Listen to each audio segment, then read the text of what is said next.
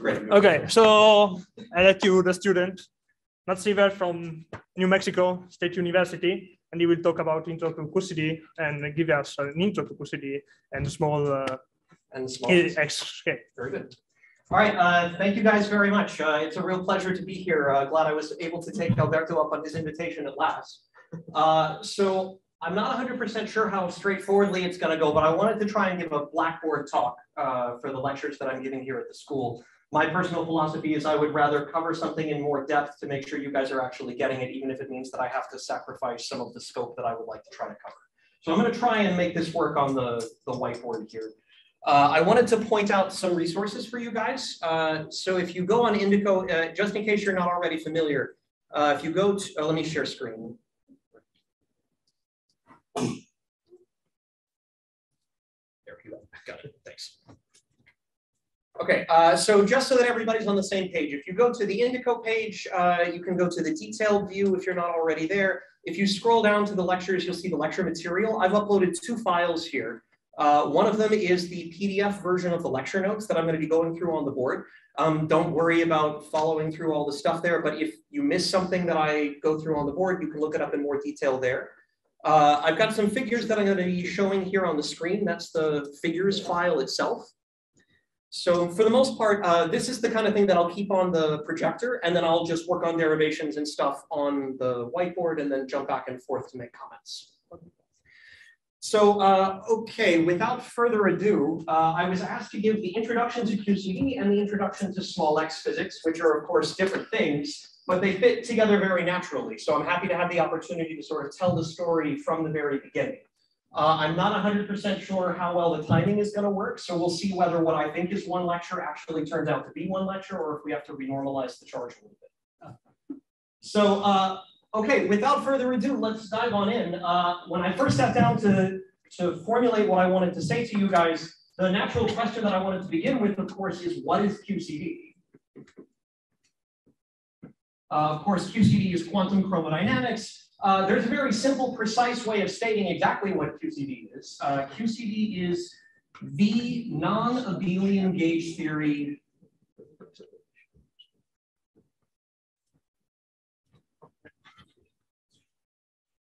of SU3. And uh, as I started trying to unpack that, I realized it was going to take me a whole lecture in and of itself just to explain what does that mean before we actually start getting into the nuts and bolts of Feynman rules and things that make QCD unique. So I think answering this question, what does this mean, is my goal for today.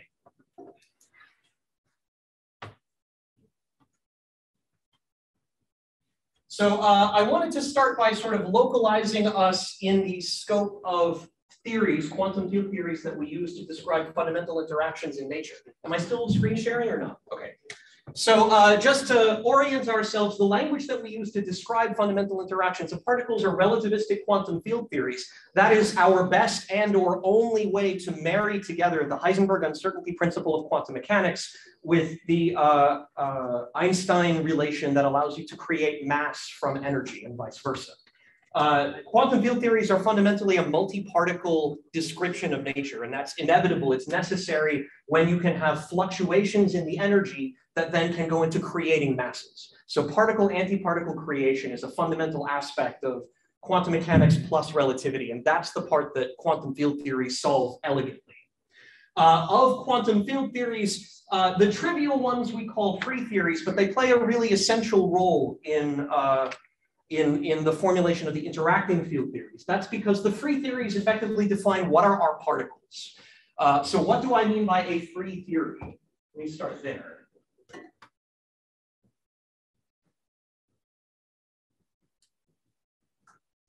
Okay, so of our quantum field theories,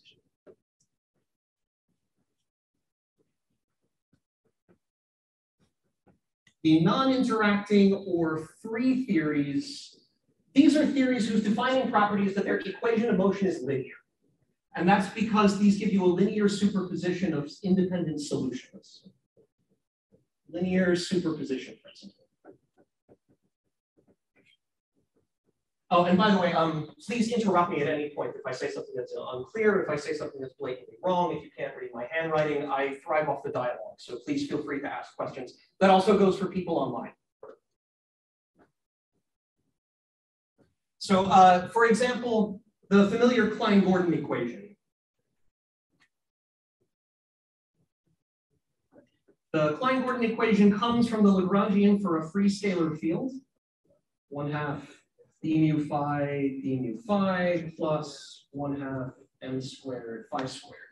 And this gives you the equation of motion, which is d mu d mu uh, plus m squared phi is equal to zero. Uh, why is this particularly interesting or special? This is a linear equation. So if I have two particles that are both solutions of the Klein-Gordon equation, they don't interact with each other. The solution containing two particles is identical to the solution of one particle plus the solution of the other particle. That's the definition of what we mean by a non-interacting theory. So the criteria for what are my particles are, what are all possible field theory Lagrangians I can write down? Uh, do I need to jump back and forth? Everything okay? Uh, you, we stop it sharing. Yes, okay. So the free theories define what are our particles. So we classify the Lagrangians based on what Lagrangians lead to linear equations of motion. Those are simple. Those are Lagrangians that are quadratic at most in the unknowns, which are the fields themselves.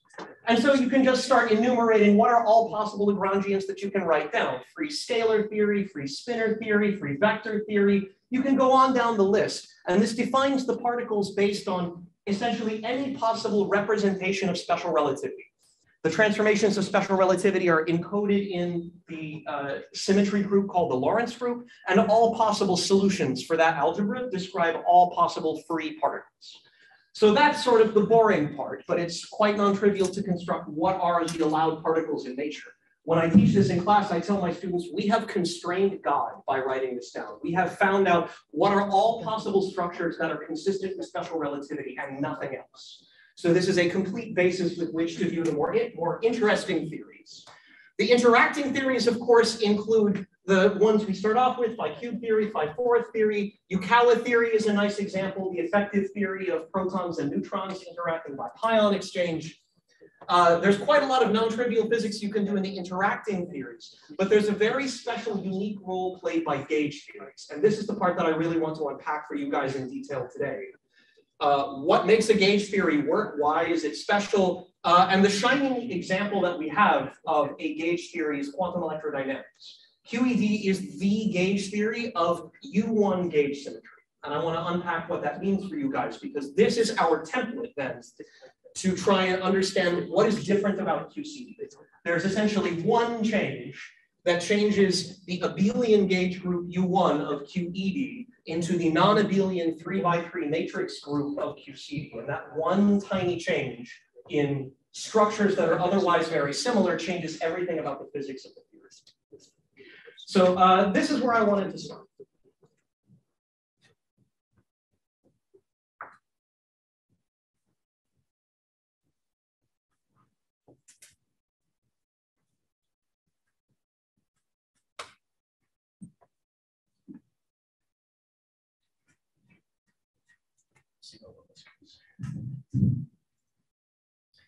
Okay, so uh, before I dive into QED itself, I want to talk a little bit about how we are going to use it, because most of the things that I have to say are based on perturbation theory, which is a good old tried and true method that works wonderfully for most quantum mechanical systems, uh, but it fails in some really essential ways when it comes to QCD. So there are some things that we will get right within perturbation theory, and there are some things that we will get very, very wrong. So before we start going down that rabbit hole, I want to be clear on the scope of what we can do. So uh, a few comments about perturbation theory. I have to figure out when to go back and forth.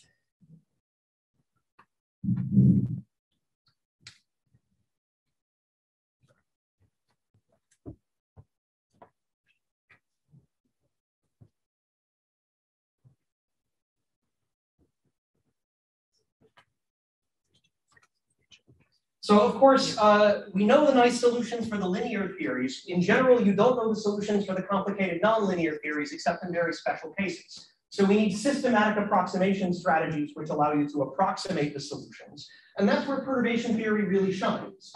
Perturbation theory is a systematic approximation. And that systematic approximation means something important. It means that the error is controlled.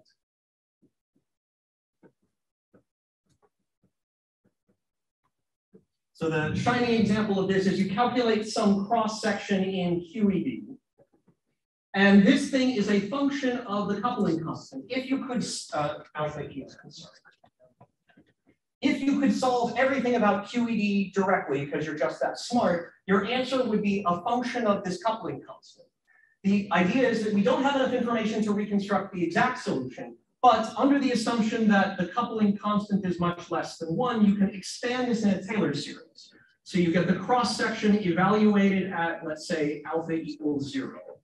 That's the zero order piece. And then you would have something alpha ENM to the first power times the cross section, uh, which is the first order cross section, and so on.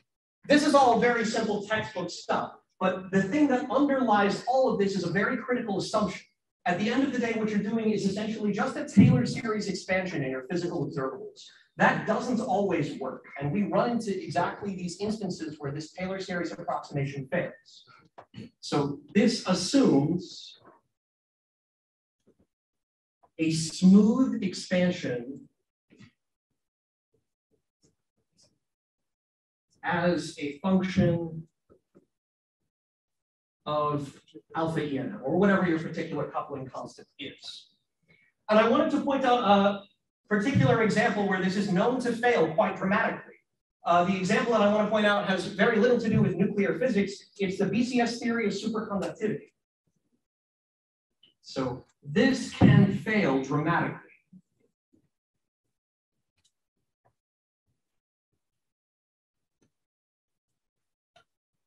So uh, BCS theory of superconductivity describes what happens when a normal metal undergoes the superconducting phase transition. And when you undergo that transition, there's a radical change in the degrees of freedom in the system. The normal metal is described by electrons that are moving through approximately free bands, but the, uh, the superconducting state is described by Cooper pairs. So the reason that I wanted to pick on BCS superconductivity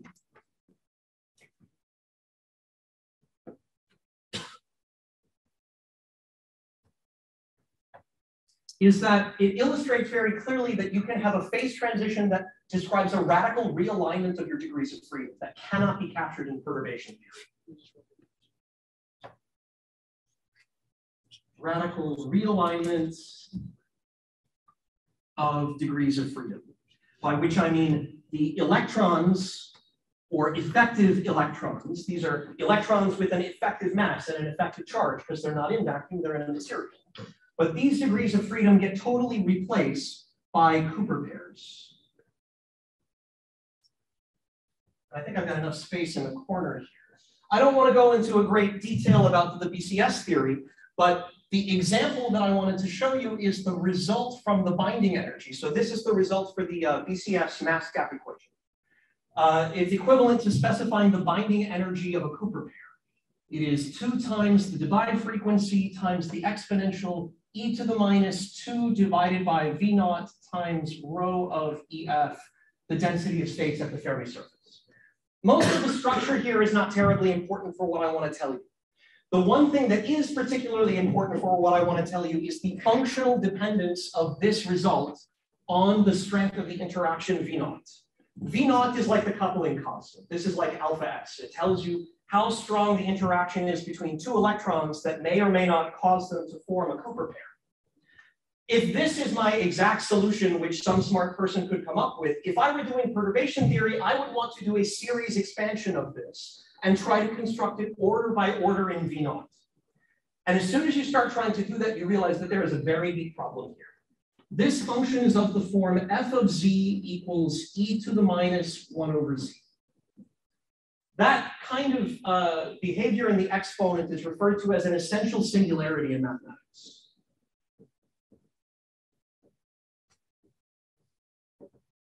And that essential singularity breaks the series expansion in unrecoverable ways. So this is just a plot of that function. Here, I just take it and plot it along the real axis. Let me share screen. It's shared. Oh, it's still sharing, no. okay. You just teach. Okay, thank you. So the uh, potential here is shown going from positive to negative values. Here on this side, it looks nice and smooth, not too much of a problem. If the coupling goes to zero, then the binding energy goes to zero and everybody's happy. Uh, but if you look just slightly from the other side, if the potential is just slightly negative, then this thing explodes in a crazy way.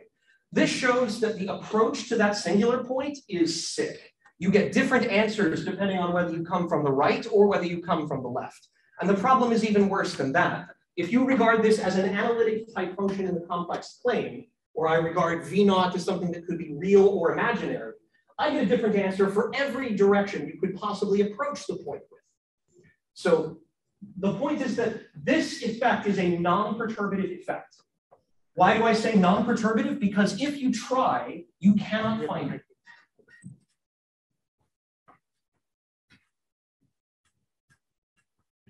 So suppose I take this expression and I try to do a series expansion in it.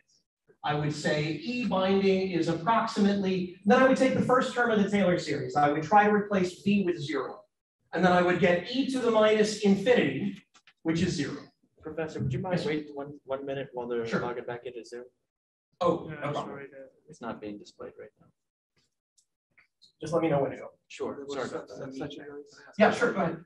I'll repeat the question once we're reconnected. Thank you so much. Sure. So you said that we can do the perturbative expansion when the coupling constant which is alpha is much less than unity. Yes. So in this regime, is it much greater than? unity? No, uh, not even necessarily. So even if this coupling is small, even if in this example V naught is going to zero, that still doesn't work. There is no value of V naught small enough that will make this work. The function itself is fundamentally sick. Exactly. And that means that this kind of physics will never be capturable within perturbation theory. Are we back? Also. Okay, so the question was, why does it fail? Does it fail if V naught is not small enough? Because usually perturbation theory works when your coupling is small. No, this is an even worse problem than that. This is a problem that no small enough V naught will ever solve. So if I try to expand this thing, the, the first order term in the Taylor series is zero, or the zeroth order term is zero. Plus, now if I try to take a derivative, you'd say, okay, fine, I've got my coupling, my coupling is V naught. I should take a derivative of the binding energy with respect to V naught, evaluated at V naught equals zero. Well, I take the derivative, I'm gonna get some polynomial in front, but I'm still gonna get that e to the minus infinity afterwards when I plug in V naught equals zero. So even the linear term in the Taylor series, this is still zero. And if I go to the next term in the Taylor series, this is also zero.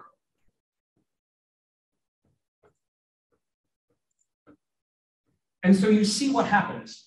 If you try to take something of this form and reconstruct it perturbatively, you can't. You simply get zero to every order in perturbation. And I would turn this thing around and throw it back as a word to the wise. Often you will see theorems that are proved and written with capital letters in the field. And they say, I have proved to all orders in perturbation theory that this is true. Does that mean it's always true? No. Non-perturbative effects can never be expanded in a series like this. So a proof to all orders in perturbation theory is not the same thing as a proof to all accuracy in your exact theory. So the point is that uh, perturbation theory is great. I'm a big fan of perturbation theory, but we should be aware of its limitations. There are some fundamental non-perturbative effects that generally come in this form. There's a reason that this essential singularity shows up. It shows up in the BCS theory for the superconducting phase transition. It shows up in QCD for the confinement phase transition. When you generate those uh, 1000 MeV worth of mass for the proton out of 10 MeV worth of light quarks. So um, non-perturbative effects often have this form, and you can see very clearly why that fails. Now, uh, this is only one of the ways that perturbation theory can fail. Even when perturbation theory is working, it may not work the way that you expect.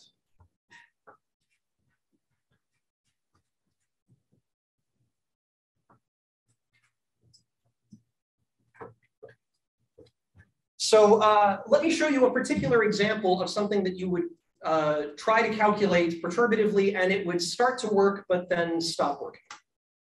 Ooh, okay, there we go. Still sharing. All right.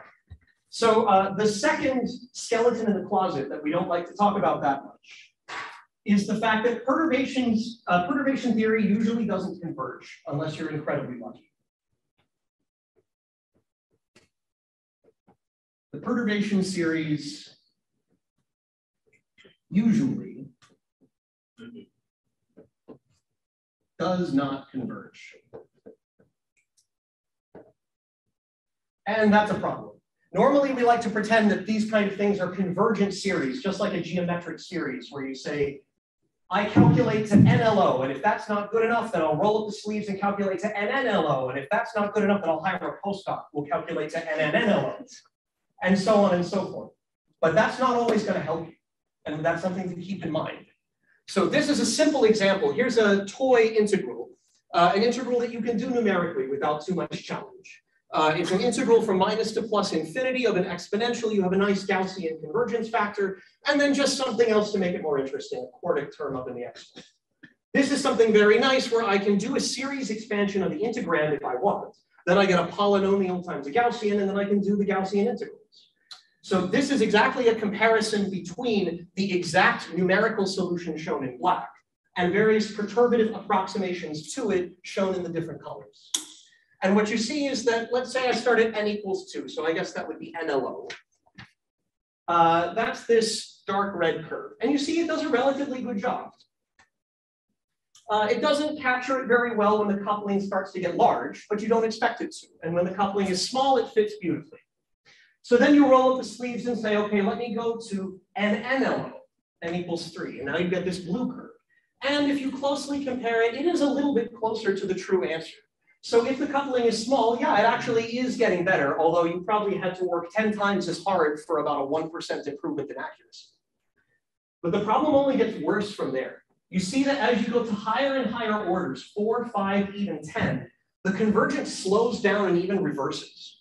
So as you go from third, uh, second order, third order, fourth order, fifth order, 10th order, the convergence completely breaks. And in fact, even if you could calculate a 10th order calculation, which don't try it, it's a trap, it wouldn't help you because the perturbation series itself is not convergent. So keep these things in mind as we try to do calculations in perturbation theory. It's a systematic way of organizing our approach to the quantum field theory, but it has severe limitations that we should never forget.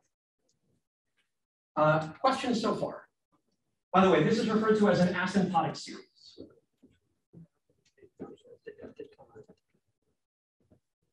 Uh, yes. Is it pretty general convergences worse if you go to higher order, or is that specific?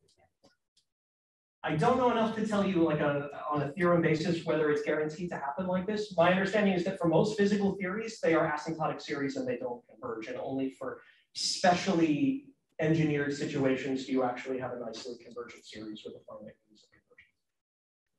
Uh, yes. Uh, this uh, feature for the high order term uh, only confirms the fact we use uh, Taylor series.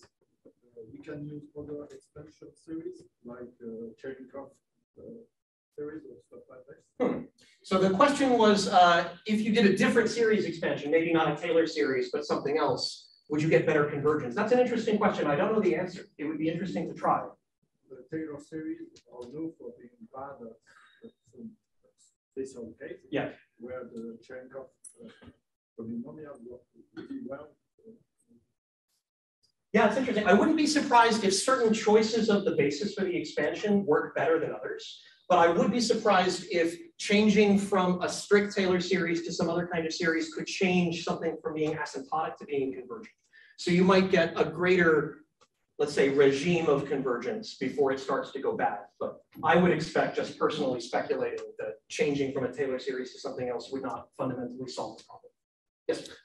Another, another thing, can it be that you expand not around lambda equals zero or v naught equals zero? Yep then you expand a little bit away and the thing changes. Can, can the yes. choice be a problem? Yes, uh, actually, and that sets me up beautifully for what we're going to talk about by the end of the week. Uh, some famous people in the field like to say that the small x physics or the effective theory of small x physics called the color glass condensate. Let me write this down. Uh, you'll see the abbreviation CGC. Stands for color glass condensate. Uh, this is the effective theory of QCD at high energies and high densities.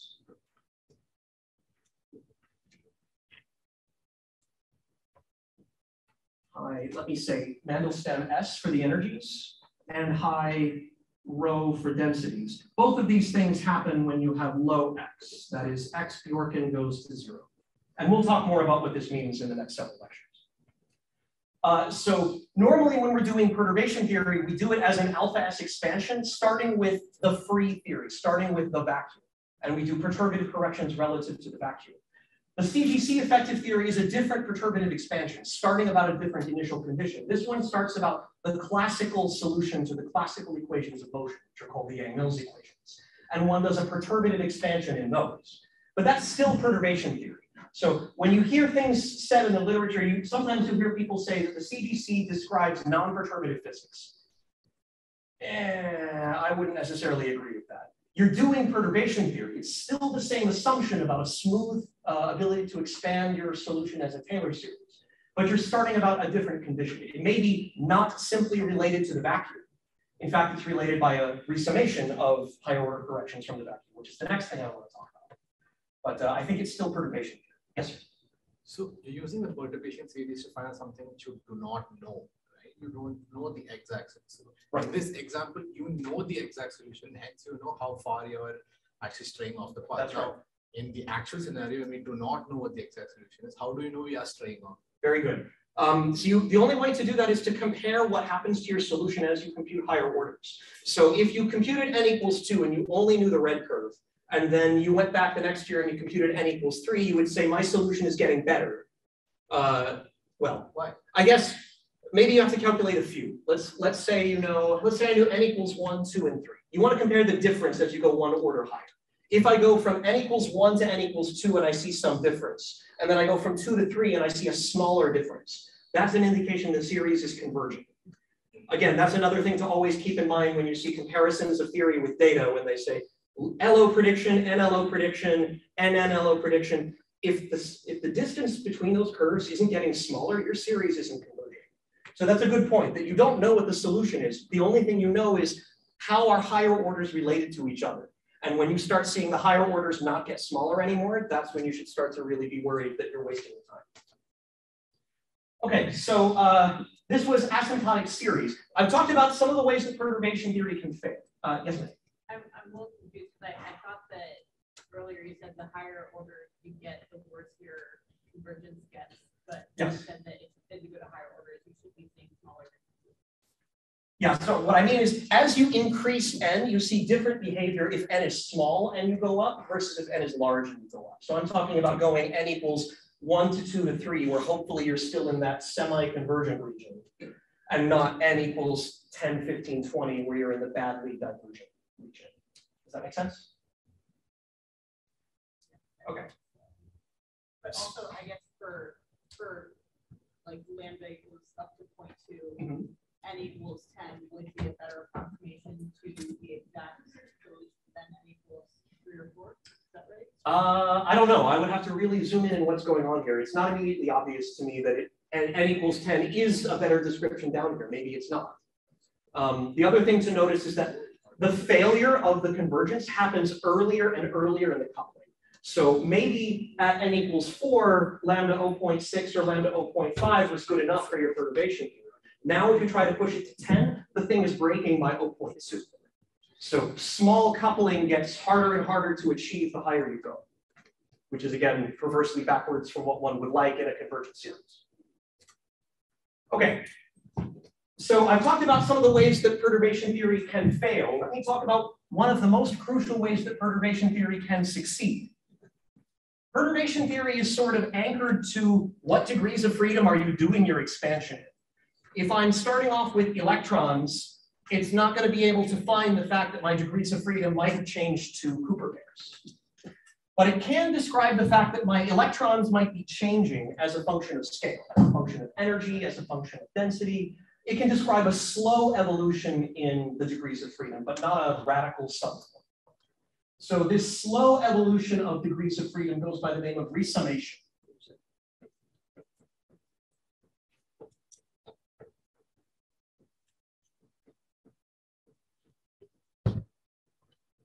And there are a couple of really critical examples that show up in QCD all the time. Both of them come from essentially the same ingredient. Suppose you have a single particle, let's call it a quark, and then it splits, uh, and then it radiates a soft gluon. We'll talk more about what this means. So let me just for the sake of concreteness, let me say this particle has energy E and uh, momentum zero, spatial momentum zero, uh, maybe in the transverse direction. Uh, say the gluon splits off and it carries some fraction Z of the energy. Z is just a dimensionless number between zero and one. And it has some transverse momentum k Then the uh, quark which recoils against it just has by momentum conservation one minus ZE negative k this is essentially the standard building block for pretty much all of your higher order corrections. Most everything in, in QCD can be boiled down to something built out of these light front wave functions themselves.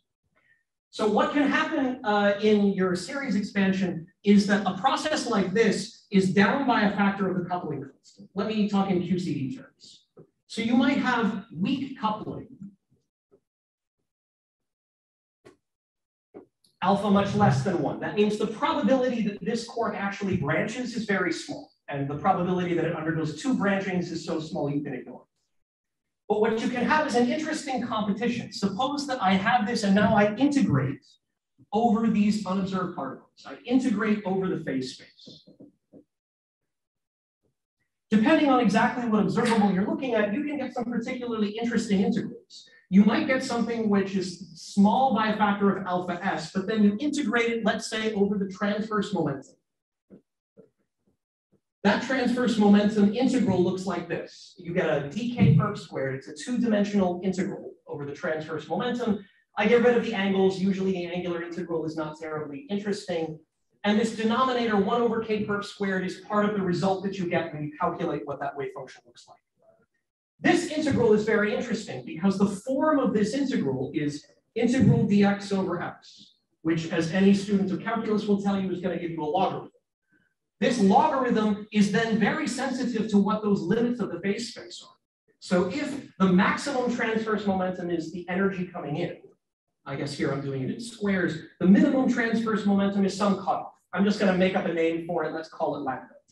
This integral being logarithmic gives me not only alpha s, but an associated logarithm of the energy compared to that cutoff scale. So this is an interesting competition. Alpha is small, but you may have a phase space which is large. If the energy E is really, really huge and that cutoff lambda is really, really small. So pretend this is, let's say, square root s at the LHC. And pretend that this is, oh, I don't know, lambda QC 1G or so. If there's a massive difference in orders of magnitude between these scales, then the logarithm between those two scales could actually be large. It could be so large that it starts to compete with the smallness of alpha s and screws up your perturbation series. So you could have alpha s much less than one, meaning your weak coupling is still valid, but a large logarithm, meaning e squared much greater than lambda squared, not just bigger, but so big that it's exponentially bigger. The logarithm itself is much larger than one. That means e is not just a few factor of a few larger than lambda, it's exponentially larger than lambda. But if you go, you open up so much phase space that that large logarithm now starts to compete with the smallness of your coupling constant in a very systematic way. So on the face of it, this looks incredibly dangerous. You say, well, I had weak coupling, I had perturbation theory, but now I just killed it. But this large logarithm only comes from very specific places. It only comes from specific phase space integrals that have to integrate over a very large range. So this actually is a success story because you can identify what process generates that logarithm. And even in the case when alpha is small, but the log is large, such that alpha times the log is not much less than one, right? In strict perturbation theory, I would say, who cares about the log? That's an alpha S correction, that should be small. But if the log is large enough, then this number can be order one and not small at all. This is still much larger than alpha S. Alpha S is still small, but alpha S times the log is large. When you have this situation, this is not small, you can't neglect it. That means that one factor coming from this kind of branching is of the same order as two of them. And that's of the same order as three of them. And that's as the same order as all n of them for any n from zero to infinity. So you see, this is how the perturbation theory is breaking. It's breaking because each higher order correction, which is always associated with this log, is not small compared to the one that came before it. But if you can identify the source of those logarithms, then you can resum them. Typically, the strategy is, let me figure out the process that created this and write it like a differential equation. If I can write it as a differential equation, something like derivative with respect to log e squared over lambda squared. That derivative will tell me the coefficient in front. You can write it as a differential equation. And if you're smart enough to solve that differential equation, that solution is the exact solution of the logarithmic problem here. This is referred to as a leading logarithmic resummation. Leading log resummation. So we'll talk more about this later. There are two extremely important examples of how this shows up, both of which come from this fundamental quantum branching. The one that I'm illustrating here is a large logarithm coming from the transverse splitting. This is essentially saying these guys recoiled so hard that they're back to back. These guys have so much relative momentum that I can ignore anything that came before it. That transverse momentum ordering of this type is what is responsible for DGLAP evolution. Of PDFs. And we'll talk more about what that means.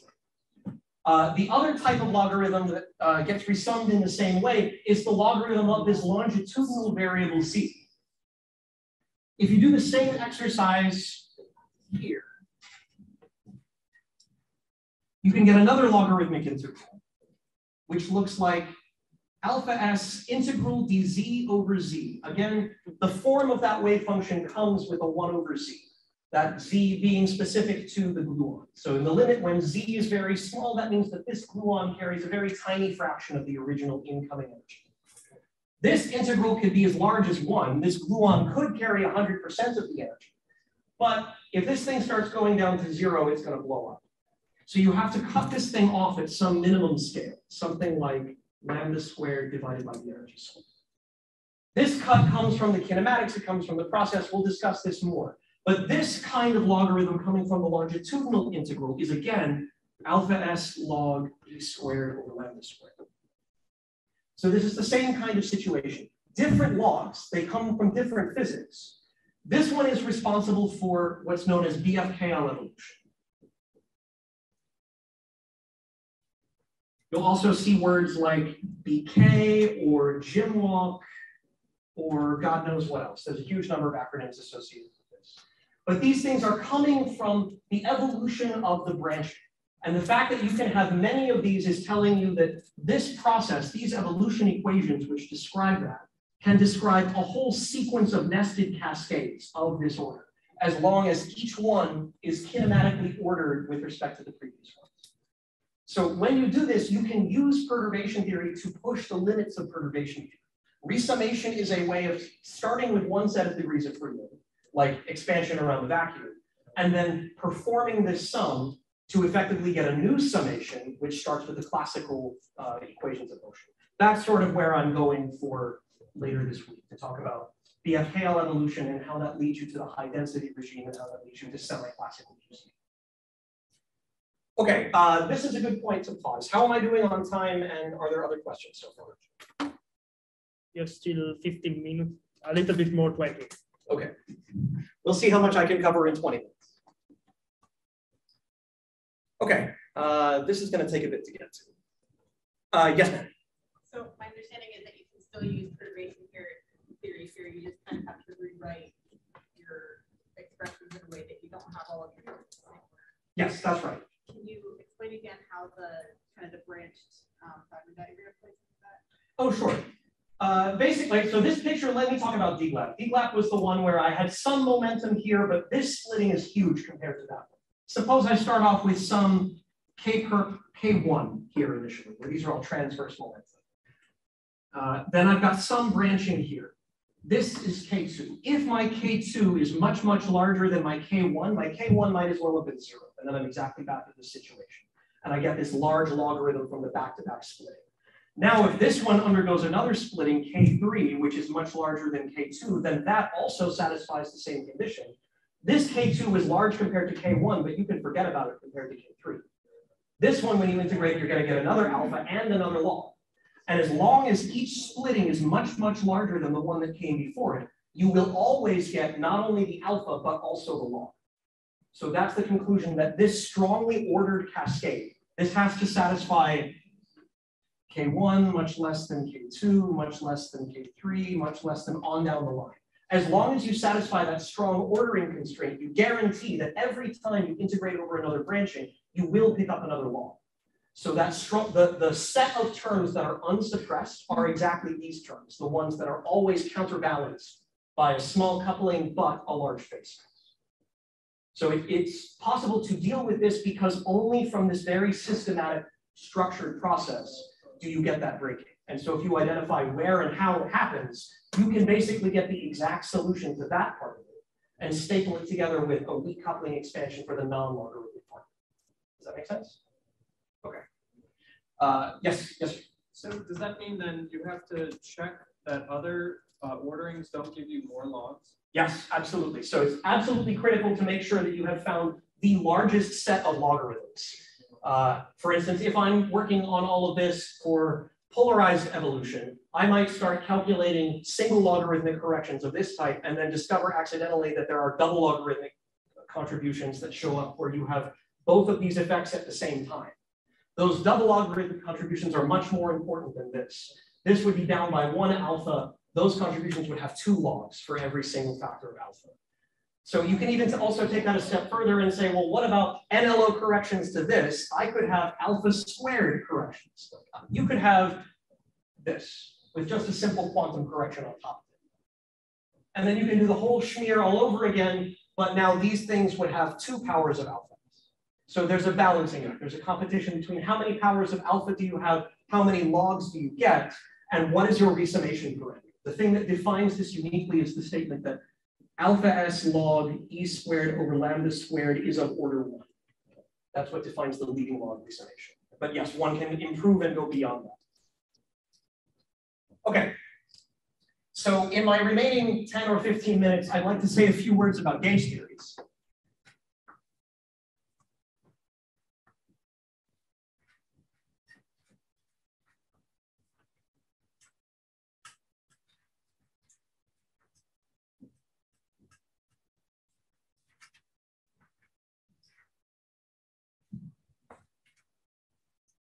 Okay. So all of our gauge theories are predicated upon the best example that we have, which is QED. QED is the abelian gauge theory of U1. U1 symmetry. I would like to unpack those words to whatever extent I can in the time that we have and relate them to the Lagrangian that everyone has seen and worked with psi bar i the slash minus m psi minus one fourth f mu nu f mu nu minus e psi bar gamma mu psi a mu.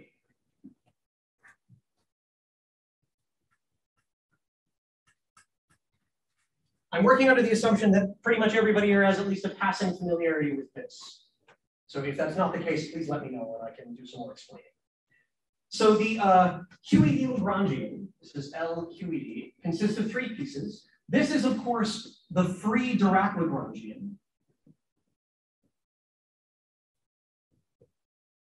This is the free photon Lagrangian. And this is the whole thing that we work so hard to get. This is the interactions term.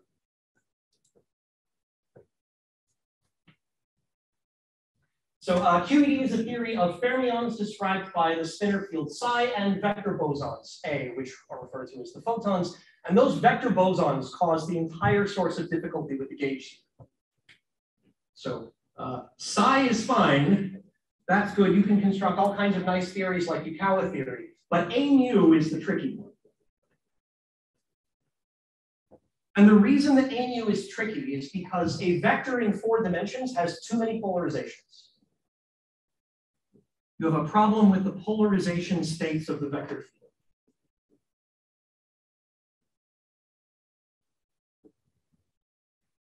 Uh, you also have polarizations for the spinors, but that's not a problem. You can have spin up, you can have spin down. The problem is that in four dimensions, you could have up to four different independent polarization vectors for the gauge field, the photon field. And one of those polarizations is deeply sick. You have no hope of ever quantizing. That problematic polarization is what I'll refer to as the scalar polarization. That's the one if A mu is proportional just to a perfect gradient. Uh, this is a perfectly allowed polarization in four-dimensional spacetime. You could construct a field that satisfies this. The problem with this is that if you try to quantize it, it leads to negative norm states. This is just, it, it's a sick mode. It cannot be quantized. It has no place in quantum field theory. This is uh, also sometimes referred to as the time-like polarization.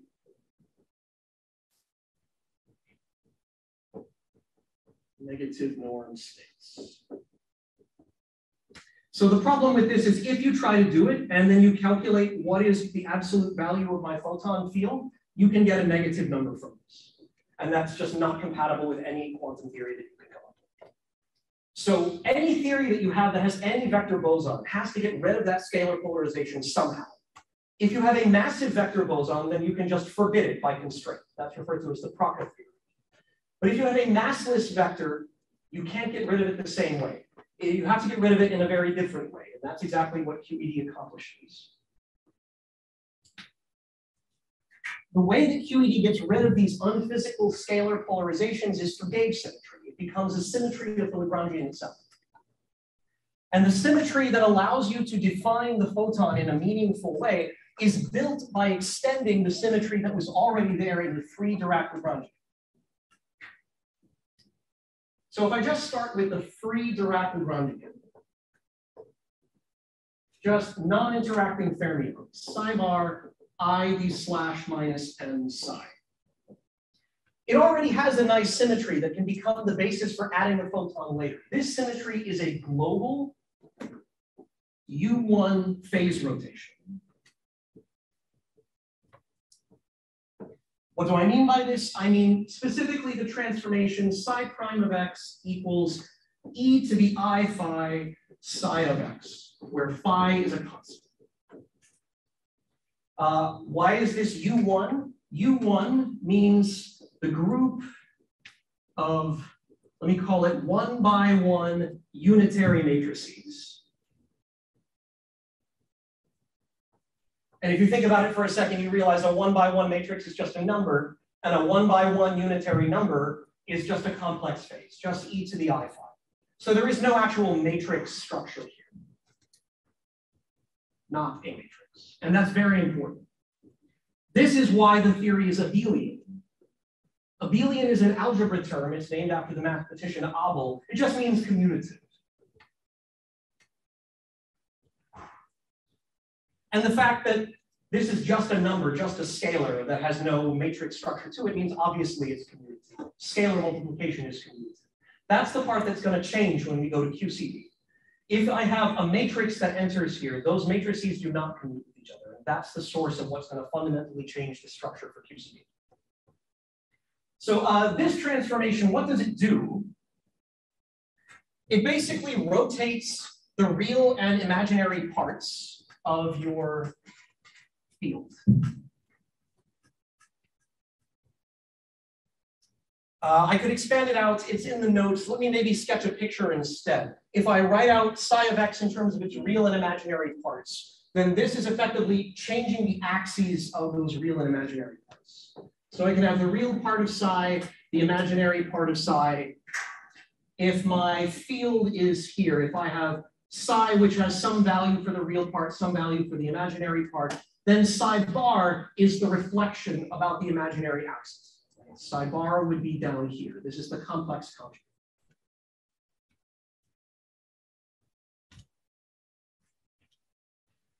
So uh, keep in mind, of course, that psi is the annihilation operator for a particle. This describes electrons. Psi bar is the annihilation operator for a positron. This describes antiparticles. So having these axes that says a point up here is the particle, its mirror down here is the antiparticle is a way of defining what my degrees of freedom are.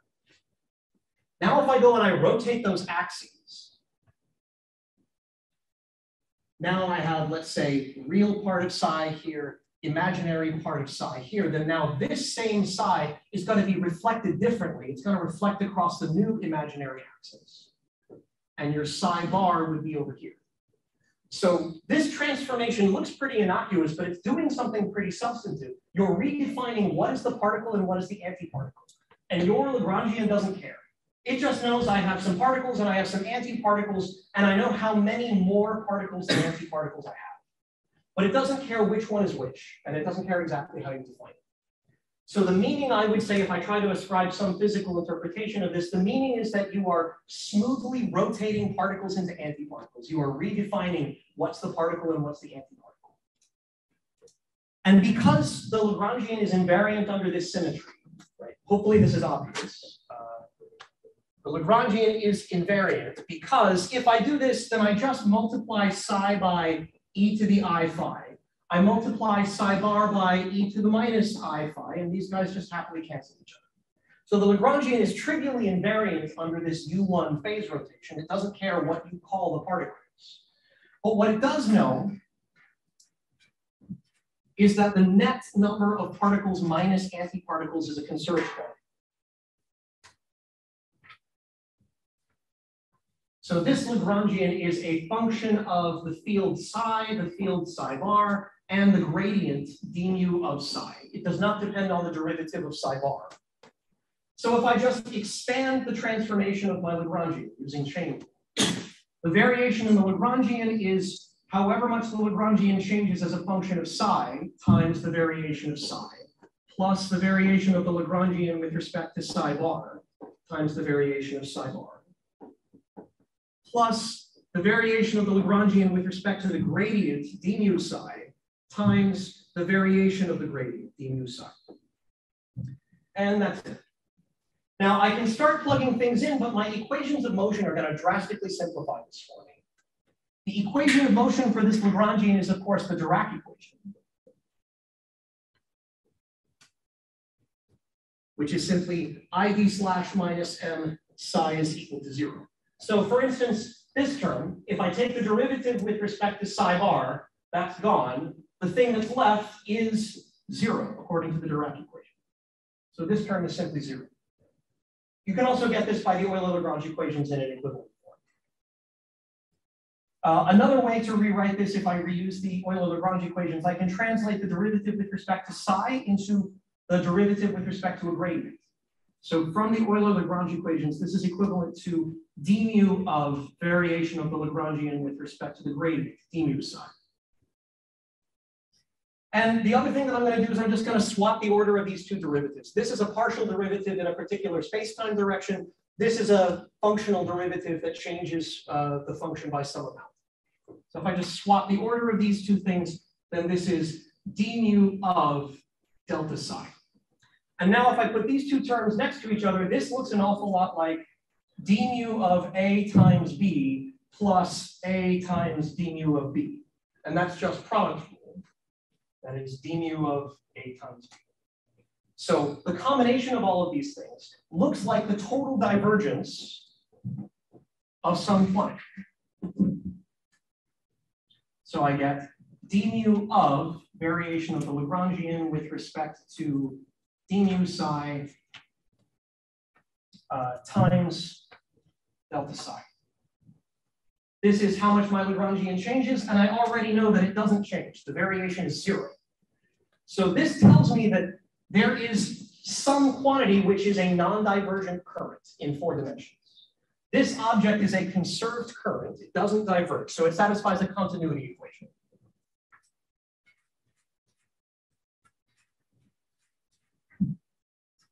So this is frequently written d mu j mu is equal to zero with j mu is a conserved current.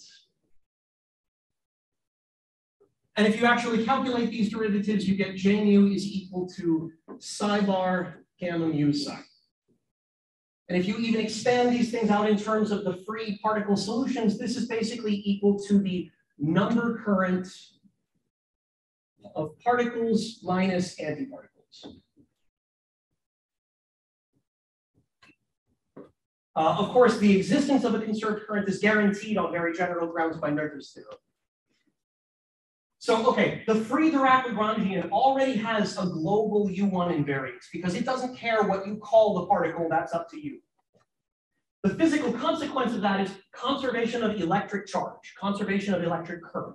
So that even if you don't know which one's the particle and which one's the antiparticle, you do know how many more of one than the other you have. Uh, time check, zero? Like five minutes. Okay. We'll see what we can say.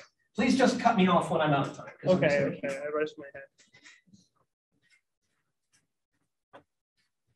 definitely going to renormalize my lecture time.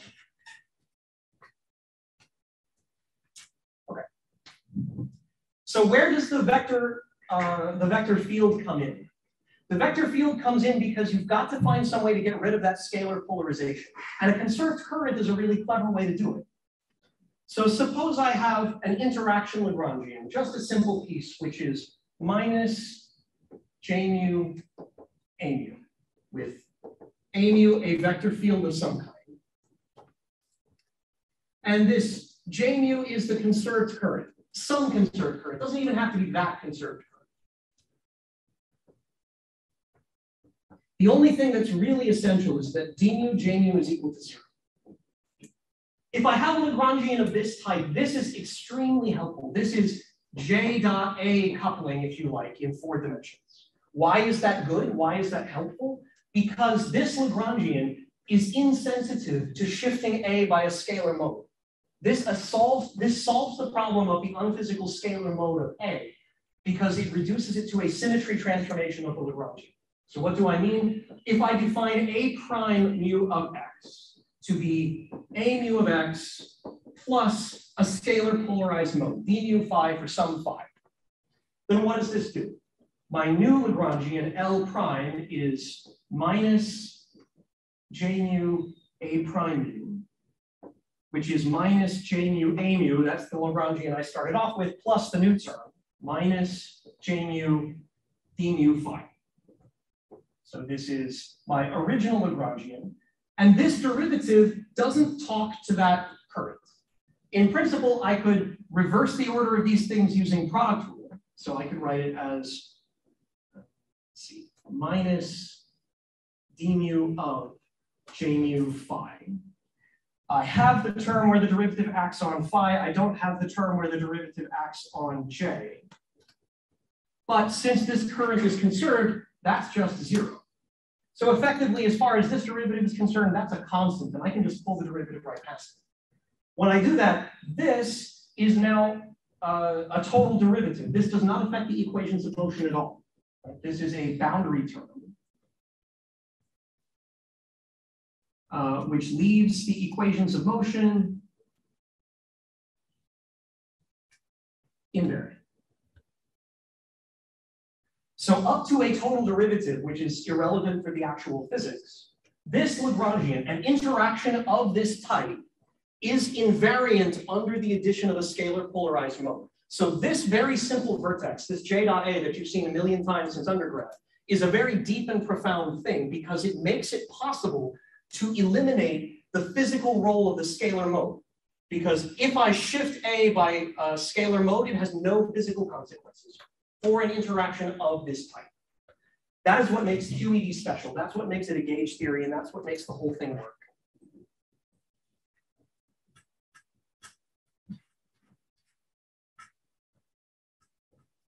So maybe this is about where I'm going to have to stop.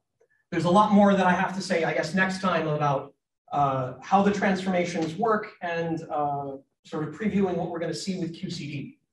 But that's the point of writing the QED Lagrangian in this form. You have the original ID slash minus M uh, Dirac operator, you have the free photon fields, and you have the very special vertex, psi bar, gamma mu psi. This is just the conserved current J mu times A.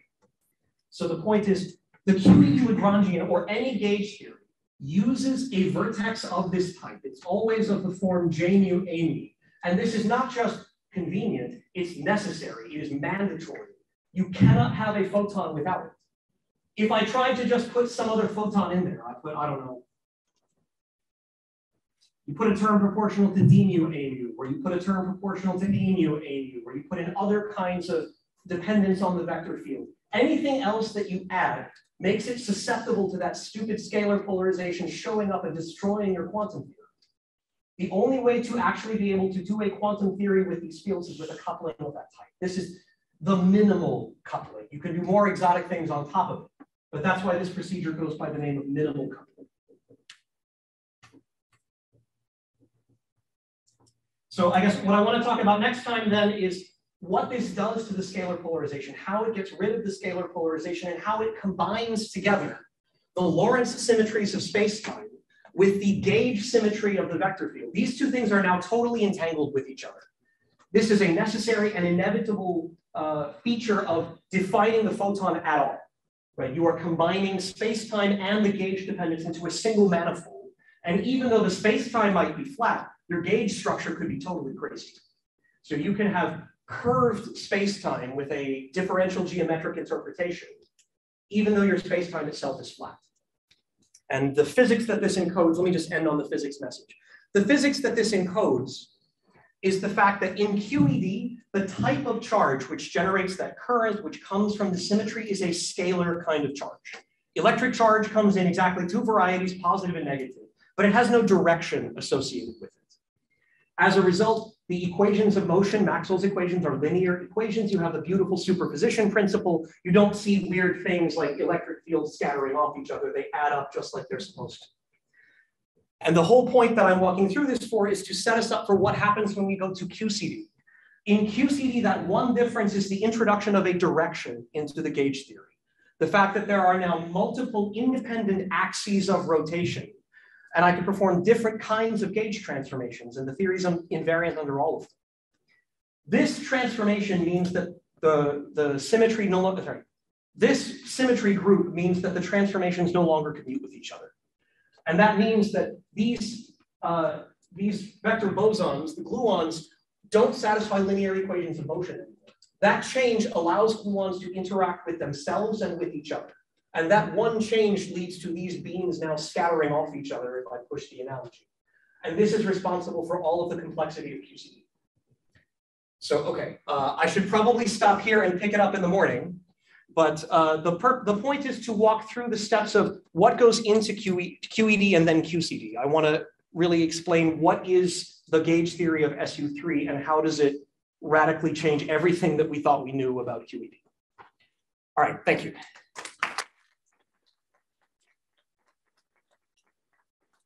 Uh, we had a lot of questions during the discussion, but if there's any we didn't get to, I'm happy to answer them. Okay. Okay, so we can start. If you have questions, just go ahead. Sure. I think I had a quick one. When you say something like uh, SUN is the group of all n by n unitary matrices, are we really saying SUN has a fundamental representation where it has it's an n by n matrix? Okay. Yeah, so I, I always flub a little bit the difference between the capital SUN and the little SUN for the Lie algebra. All representations have the same Lie algebra. The defining representation, the big SUN, is the n by n unitary matrices of determinant one. But even with the with the algebra, though, the like say the generators don't necessarily have to be the same uh, dimension. Just That's right. there's the same number of generators. That's right. Okay. Yeah, so this is the defining representation of the group, and there can be higher spin representations of the same. So in terms of QCD, that means that you've got one representation of this, which is the quarks that have a three by three set of matrices. You've got a different representation for the gluons, which are the eight by eight representation. And if you start stacking together multiple quarks and multiple gluons, you can make even higher dimensional representations. Okay. Thank you. Sure. Yes. Sir. Uh, thank you for the talk. Sure. Um, so when you were talking about the U1 gauge trans, uh, U1 EM gauge transformation, uh, it seems to me that it, it's describing sort of a continuous charge symmetry. Yes, um, absolutely. versus the typical discrete charge symmetry yes. that we think about being reflection on the real axis. So is there a discrete symmetry or set of discrete symmetries which corresponds to that SU3 structure in the same way that we have the mirroring on the real axis in SU in U1? Uh, I'd have to think about it to give you a more detailed answer. I think the answer is yes. I think that there are discrete subgroups. I think there are two of them that are simultaneously diagonalizable, but I would have to double check the details. Uh, yes, I agree with your description of QED. That's how I think about it as well. Sure. Uh, yes. This might be a big skill question, but I didn't quite understand what the scalar polarization is and why it's a problem. Yeah, uh, I didn't want to get into something incredibly technical. It comes basically from the canonical commutation relations. The fact that you're, in, order to quantize the theory, you want to enforce commutators such that your commutator of a nu with its canonical momentum pi nu should be something proportional to the metric tensor g nu. So the problem is that the metric tensor is not positive definite. The space-like parts are positive, or this, like this, the three space-like parts all have one sign, but the time-like part has a different sign. So if you can make this work nicely in the space-like sector, it's not going to work nicely in the time-like sector. That minus sign from the metric is essentially what gets propagated through to that normalization of the photon state and can give you something negative. So you're sort of always in this tension between, I want something Lorentz invariant, I want G nu here, but I can't put the time-like part because if I do, I break the quantum. And so you can choose either, well, maybe I sacrifice Lorentz invariance and I just quantize everything in uh, uh, Coulomb gauge, for instance. You can do that, but then you lose a lot of the virtues of the quantum field theory in the first place. Whereas unifying the two together into a single higher dimensional manifold that all transforms in an interrelated way means you don't have to sacrifice either. That you can, by making it a gauge symmetry, you can keep exact Lorentz symmetry as long as it's coupled together with the gauge structure. So the gauge, using a gauge, like solve the problem. Yes, it solves the problem without requiring you to give up Lorentz invariance. Sure. Uh, yes. So, um, you, you wrote about the binding energy and its form function form. Now, is that the exact solution? Uh, I believe it is the exact solution to the BCS uh, gap equation. That itself, as far as I recall, is a mean field approximation in Hartree-Fock theory. So it is exact in the sense that you wrote down a differential equation, that's the solution to the differential equation. It is not exact in the sense that that is everything that you could ever write down. But if it is exactly solvable, then why you apply perturbation? To show an example where perturbation theory is known to break. And No, so in perturbation theory, you have uh, unperturbed system and then you have the perturbation. Yes. Right? Now you know the solution to the unperturbed system. And this perturbation essentially adds on corrections to it. Yes. But if you search, you start off at an EB, which is already given to you. I mean, Mhm. I don't know how the perturbation comes into that, if it's an exact thing.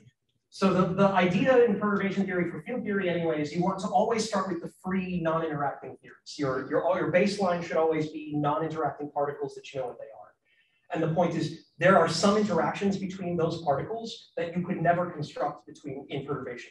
For instance, if you have something of the form e to the minus one over g, e to the minus one over alpha. That's exactly the form of the chiral condensate in QCD. It's exactly the form of the mass gap in BCS theory it's a general structure. It shows up a lot of the time in non-perturbative effects. So I wanted to show an example of something where you knew the exact solution that had a non-perturbative effect in it. Uh, by the way, maybe it's worth mentioning, BCS theory cannot be solved perturbative.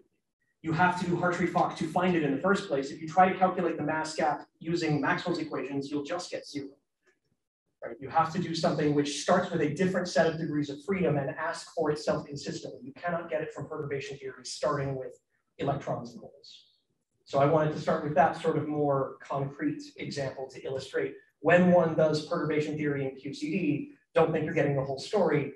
Chiral condensate, essentially a phase transition. When you have a serious phase transition like the confinement phase transition, perturbation theory is not going to be able to go across that singularity. And that's what that singularity looks like in another case. Okay, I would actually stop here because it's already past, uh, past five. so Thank you. we have We'll continue the 15. Yeah, you can always uh, use Slack to ask questions. Yes, absolutely. And then, I mean, you're here, so just, uh, I think, You're always- but I invite the, the students that are, uh, uh, that are online just to just write on Slack if they have more questions.